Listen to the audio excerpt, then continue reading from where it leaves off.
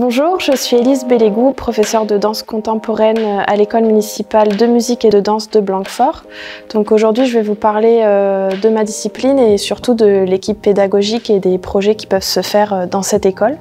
Donc j'enseigne l'éveil à la danse, l'initiation à la danse et la danse contemporaine euh, dès l'âge de 8 ans jusqu'à l'âge adulte.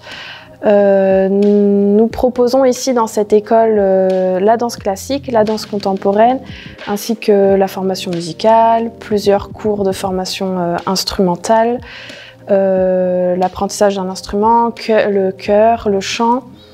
Et puis nous mélangeons tous ensemble ces disciplines-là, c'est ce qui fait la force de cette école. Donc les musiciens sont invités à venir jouer pendant que les danseurs euh, montre euh, une chorégraphie.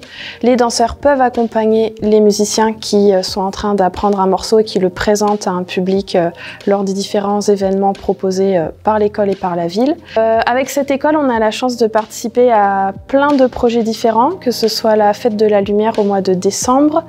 nous avons aussi la fête de la musique au mois de juin.